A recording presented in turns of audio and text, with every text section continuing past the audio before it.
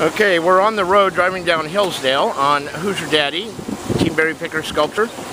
And to my right is Carl. Say hi, Carl. Hi, Carl. All right, and we have the crew back there. You guys are on video. Say something. All right, thank you. Something. And we're headed down to, oh yeah, on me. We're headed down to Arts Alive tonight. Woohoo!